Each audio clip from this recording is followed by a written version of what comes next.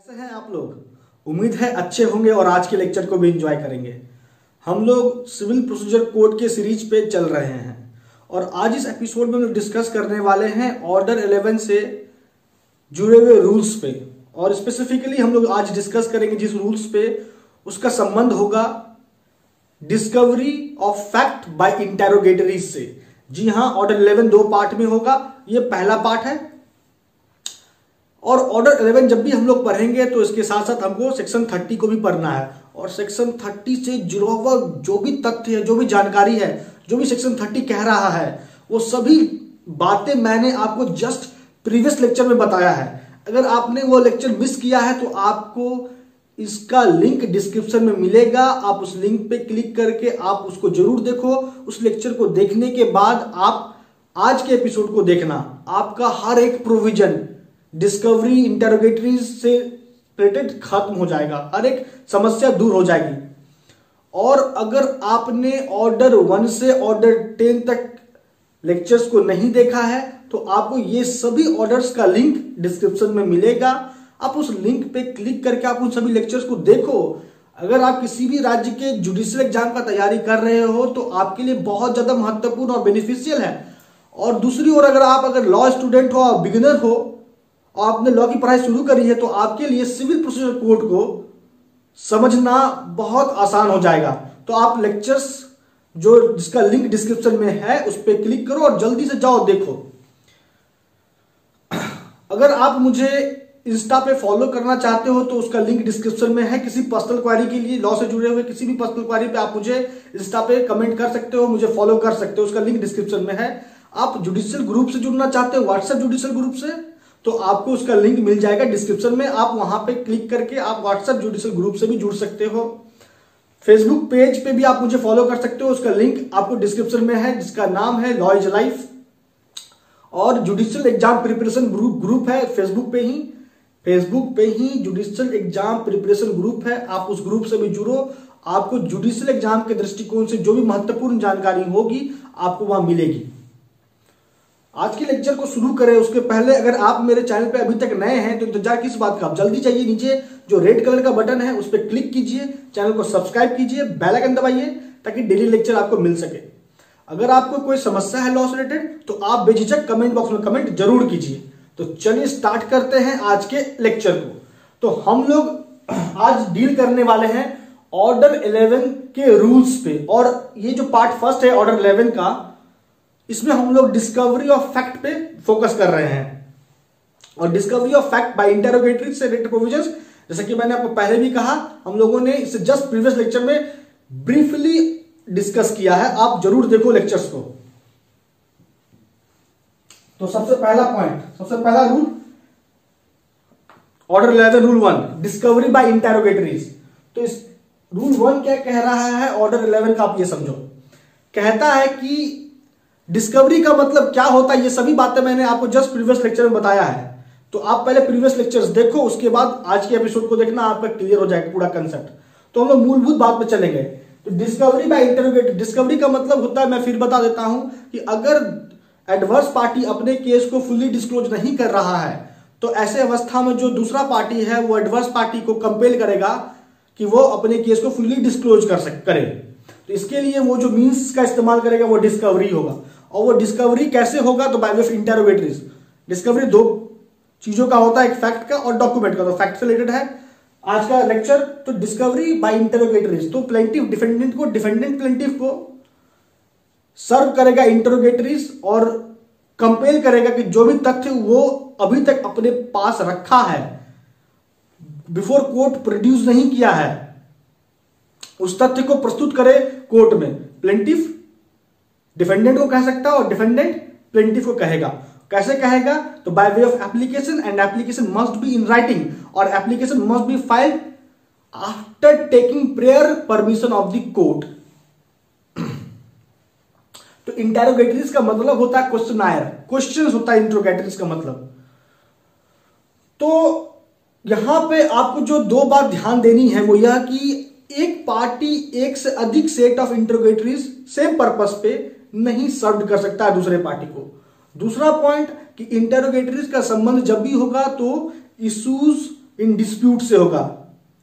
जिस फैक्ट को लेके, जिस इश्यूज़ को लेके विवाद है पार्टीज़ के बीच में, उसी संबंधित होना चाहिए इंटेरोगेटरीज तो यही है आपका ऑर्डर 11 रूल वन अब आगे बढ़ते हैं, आते हैं पार्ट रूल टू पे।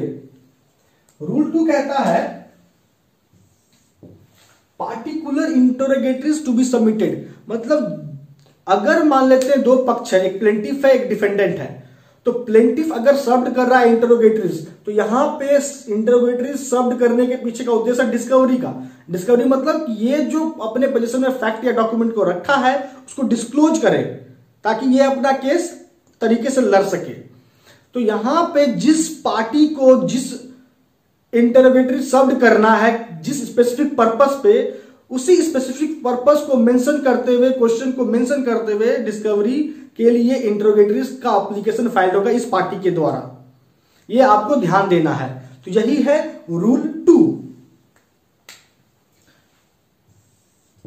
अगर आते हैं रूल थ्री पे रूल थ्री कहता है कि अगर मान लेते इरेलीवेंट फैक्ट पे इंटरोगेटरी शब्द हो चुका है, या फिर इंटरोगेटरीज प्रोसीडिंग को सूट के प्रोसीडिंग को डिले करने के लिए फाइल्ड हुआ है। तो यहाँ पे जो, वो जो कॉस्ट होगा, जो खर्च होगा इंटरोगेटरीज का, वो पे कौन करेगा? जो पार्टी इन फॉल्ट है। चाहे वो डिफेंडेंट हो या प्लेंटिफ हो, यही है रूल थ्री आगे बढ़िए। याद हो जाना चाहिए आपको रूल आप बस ध्यान से देखो और जस्ट प्रीवियस लेक्चर को देखो और आज के एपिसोड को देखो। आपका ऑर्डर 11 का रूल याद हो जाएगा आपको। बस अपने पास लेक्चर को देखते वक्त बेरेक्ट ज़रूर रख लेना, है ना? तो देखिए रूल फोर पे आते हैं।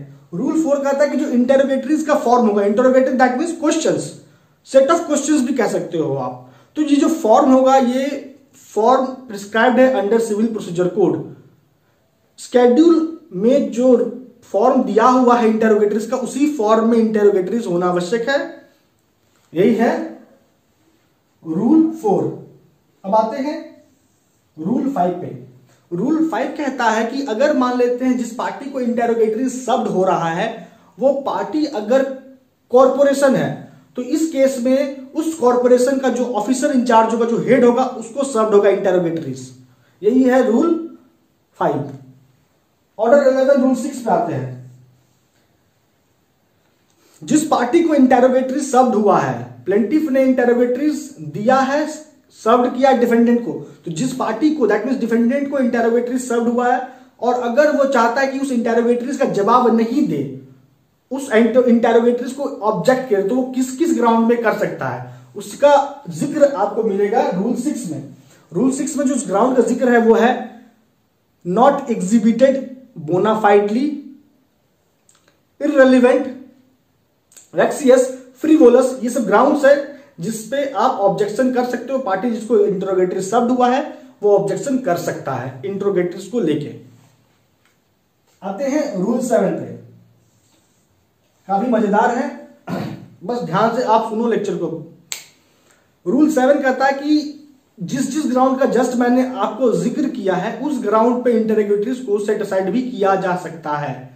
उस ग्राउंड पे खारिज भी किया जा सकता है, लेकिन खारिज करने के लिए जिस डेट को सर्व हुआ इंटरोगेटरीज उस डेट से सात दिन के भीतर अप्लाई कर देना है फॉर सेटिंग असाइड इंट्रोगेटरीज ये आपको नोट करना है कि सात दिन के भीतर सेटिंग असाइड के लिए जाना होगा। अब आता है रूल एट रूल एट क्या कहता है? कि अगर हम इंटरोगेटरीज का जवाब देंगे दैट मीन अगर इंटरोगेटरीज हमको शब्द हुआ है तो अगर हमको जवाब देना है तो हम कैसे देंगे? तो बाय वे ऑफ़ एफिडेविट और बाय वे ऑफ़ एफिडेविट जो हम जवाब देंगे उस इंटेरोगेटरीज का तो कितना टाइम पीरियड के विद इन तो दस दिन के भीतर हमको जवाब देना होगा उस इंटेरोगेटरीज का, जो हमको शब्द हुआ है अपोजिट पार्टी के द्वारा मुझे। अब आते हैं रूल नाइन पे। रूल नाइन कहता है एफिडेविट के फॉर्म के बारे में, कि एफिडेविट का क्या फॉर्म होगा? इससे रिलेटेड प्रोविज़न की जानकारी आपको मिलेगी ऑर्डर इलेवन रूल नाइन से। और फॉर्म वही होगा जिसका ज़िक्र आपको सीपीसी के स्केड्यूल में किया गया है। आगे बढ़ते हैं रूल टेन पे आते हैं। रूल टेन कहता है कि आप ऑब्जेक्शन नहीं उठा सकते हो उस एफिडेविट को लेके। इनसफिशियंसी के ग्राउंड पे। आगे बढ़िए और आज के लास्ट रूल पे आइए। आता है रूल इलेवन का। रूल इलेवन क्या कहता है? ऑर्डर इलेवन का, अगर इंटरोगेटरीज का पार्टी जिसको सर्व हुआ इंटरोगेटिव को जवाब नहीं दे रहा है तो कोर्ट यहाँ उसको ऑर्डर करेगी कि वो जवाब दे, या अगर जवाब दे चुका है तो और जवाब, पर्याप्त जवाब देने के लिए भी उसको आदेश कोर्ट दे सकती है। ये होता है रूल 11 के अकॉर्डिंग अब इसको थोड़ा डिटेल में समझिए। प्लेंटिफ ने डिफेंडेंट को इंटरोगेटरीज दिया। डिफेंडेंट को इंटरोगेटरीज का जवाब देना था। डिफेंडेंट जवाब नहीं दे रहा है। तो इसके लिए प्लेंटिफ फिर कोर्ट में अप्लाई करेगा कि डिफेंडेंट जवाब नहीं दे रहा इंटरोगेटरीज का कोर्ट आदेश करेगी और कोर्ट जब आदेश करेगी तो डिफेंडेंट को जवाब देना होगा। और अगर दूसरा केस की अगर डिफेंडेंट ने जवाब दिया है, लेकिन वो पर्याप्त नहीं है तो फिर से कोर्ट निर्देश देगी डिफेंडेंट को कि आप पर्याप्त जवाब दो उस इंटरोगेटरीज का। तो ये हो गया रूल 11 ऑर्डर 11 का। दोस्तों, अब आ चुका है लेक्चर को कंक्लूड करने का टाइम हम लोगों ने इस लेक्चर में क्या क्या डिस्कस किया? हम लोगों ने बेसिकली डिस्कस किया है provision relating to discovery of fact से और डिस्कवरी ऑफ़ फैक्ट से जो रिलेटेड प्रोविज़न है, वो ऑर्डर 11 रूल 1 से रूल 11 तक ही है। रूल 12 से आता है डिस्कवरी ऑफ़ डॉक्यूमेंट के बारे में प्रोविज़न है। तो उसको हम लोग नेक्स्ट पार्ट में डिस्कस करेंगे। तो दोस्तों, आज लेक्चर में इतना ही। आपका अब तक हमारे बने रहने के लिए बहुत बहुत धन्यवाद।